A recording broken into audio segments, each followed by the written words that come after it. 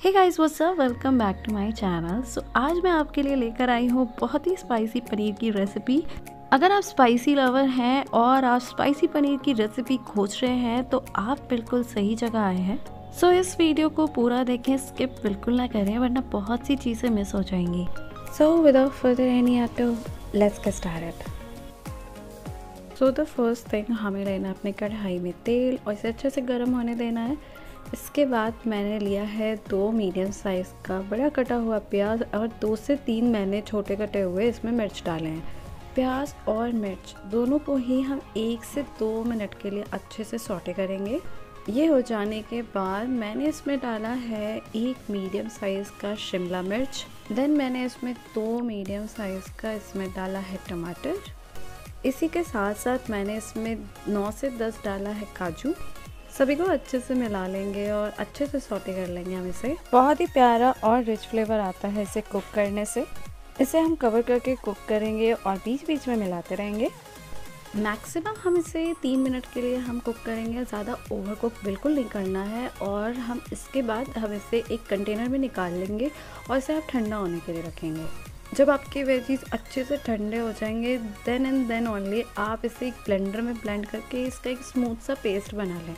सो अभी मैं इसे साइड रख रही हूँ ठंडा होने के लिए। इसके बाद मैंने उसी कढ़ाई में लिया तेल। एक बार जब तेल अच्छे से गर्म हो गया था तो मैंने इसमें पनीर को डालना स्टार्ट किया था। उसके बाद मैंने वन टीस्पून डाला है इसमें हल्दी। बहुत ही प्यारा कलर आ जाएगा इससे और सभी को हम अच्छे से फ्राई कर लेंगे। इससे बहुत ही प्यारा और रिच फ्लेवर आता है पनीर में। तो इसे फ्राई ज़रूर से करें। पनीर हमारी जब हर एक साइड से जब गोल्डन हो जाएगी तो मैं इसे एक प्लेट में निकाल के अलग रख लेंगे। देन मैंने उसी तेल में डाला है वन टीस्पून जीरा और दो मैंने इसमें डाला है तेज पत्ता। इसे अच्छे से सोटे कर लेना है एंड देन मैंने इसमें डाला है एक बड़ा कटा हुआ प्याज और एक बड़ा कटा हुआ शिमला मिर्च। यहाँ भी हमें ओवर कुक नहीं करना है हमें इसे अच्छे से सॉटे कर लेना है। दो से तीन मिनट के लिए हम इसे अच्छे से सॉटे करेंगे। फ्राई करने से आपके वेजिटेबल्स में बहुत ही प्यारा सा रिच फ्लेवर आएगा। एंड यस yes, आपको इसे चलाते रहना है दो से तीन मिनट के लिए कंटिन्यूसली सो दैट ये हर एक साइड से अच्छे से कुक हो जाए। ये हो जाने के बाद हम इसे भी एक प्लेट में अलग निकाल के साइड में रखेंगे। तो यहाँ पे मैंने लिया है अपने उसी कढ़ाई में तेल और फिर मैंने इसमें डाला है अपना वेजिटेबल पेस्ट जो स्टार्ट में हमने कुक किया था। एक बार अच्छे से हम इसे मिला लेंगे देन मैंने इसमें डाला है इसमें वन टेबल स्पून के बराबर जिंजर एंड गार्लिक पेस्ट और सभी को हमें अच्छे से मिला के इसे कुक करना है। दो से तीन मिनट के लिए मैंने इसे कवर करके रखा था एंड बीच बीच में हम इसे चलाते रहेंगे। जब भी आप इसे कवर करके कुक करें तो आप इसे बीच बीच में चलाते रहें, वरना ये नीचे से जल जाती है। आप इसके फ्लेम को भी कम ज़्यादा करते रहें और बीच बीच में चलाते रहें। ना तो मसाला पार्ट, जिसमें मैंने सबसे पहले डाला यहाँ पर वन टीस्पून लाल मिर्च पाउडर वन टीस्पून हल्दी powder and one teaspoon Kashmiri लाल मिर्च पाउडर। सभी को मिला लेना है, अच्छे से हम इसे सॉटे कर लेंगे। गाइस क्योंकि मेरे कैमरे की बैटरी लो हो गई थी तो मैंने नमक डालने का पोर्शन रिकॉर्ड नहीं कर पाया। आप यहाँ पर नमक ज़रूर से डालें और उसी के साथ साथ यहाँ पर डालें वन टेबल स्पून के बराबर किचन किंग मसाला कोई भी ब्रांड का ले सकते हैं आप इसमें। बहुत ही ईजिली अवेलेबल है मार्केट में। आप इसे आराम से खोज सकते हैं, कोई भी ब्रांड का आप यूज़ कर सकते हैं। सो मसाले सारे डालने के बाद हमें इसे कवर करके दो तीन मिनट के लिए वापस से कुक करना है एंड हम इसे बीच बीच में अगेन चलाते रहेंगे और अब हमें इसे तब तक चलाना है जब तक कि इसमें जो तेल है वो अलग ना हो जाए।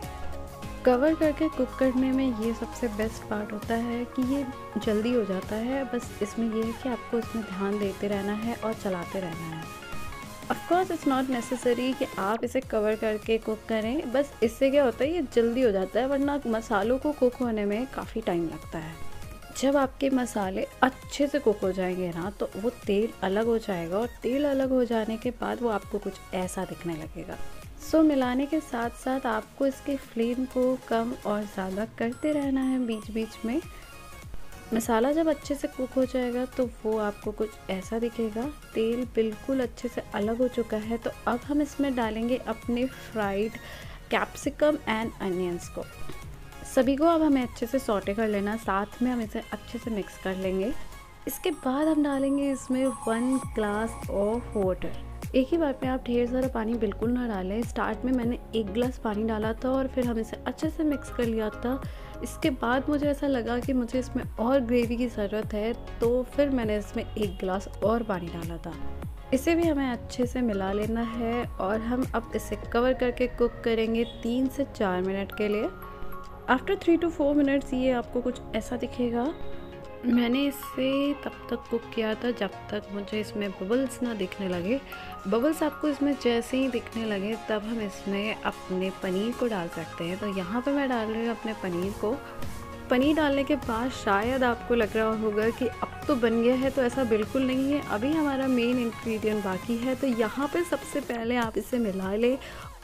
जब तक ये अच्छे से कुक हो रहा है, तब तक हम अपने मसालों की तरफ़ चलते हैं और अपना मसाला बनाते हैं। सो so, यहाँ पे मैंने लिया है टू टेबलस्पून धनिया वन टेबलस्पून जीरा वन टेबलस्पून काली मिर्च एक बड़ी इलायची और एक छोटी इलायची दो सूखे लाल मिर्च और एक दालचीनी।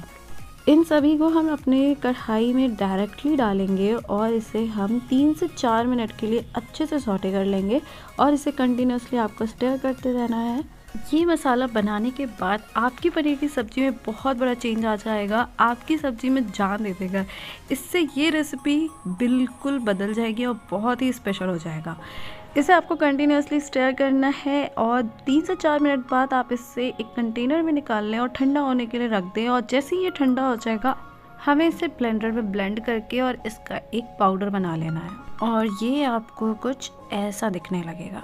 आप चाहें तो इसका ज़्यादा अमाउंट बना के इसे आप स्टोर कर सकते हैं और जब भी पनीर की सब्ज़ी बनाएँ, आप इसका यूज़ कर सकते हैं। तो यहाँ पे मैंने इसका टू टेबल स्पून मसाले का डाला है और हम इसे अच्छे से मिला लेंगे। इसी के साथ साथ हम इसमें डाल रहे हैं कसूरी मेथी और आप चाहें तो धनिया पत्ता भी डाल सकते हो और दोनों ही डाल सकते हैं साथ में। इसे और भी ज़्यादा स्पाइसी बनाने के लिए मैंने एंड में डाला है एक बड़ा कटा हुआ मिर्च और फिर हम सभी को अच्छे से मिला लेंगे। And now we are good to go and this recipe taste insane guys अगर आपको स्पाइसी खाना बहुत पसंद है तो आप इस रेसिपी को ज़रूर से ट्राई करें. आई एम डेफिनेटली श्योर ये आपको बहुत ज़्यादा पसंद आने वाली है. और मैं आशा करती हूँ आपको मेरी ये वीडियो एंड मेरी रेसिपी पसंद आई होगी. और अगर पसंद आई होगी तो इस वीडियो को लाइक सब्सक्राइब एंड ज़्यादा से ज़्यादा शेयर करें.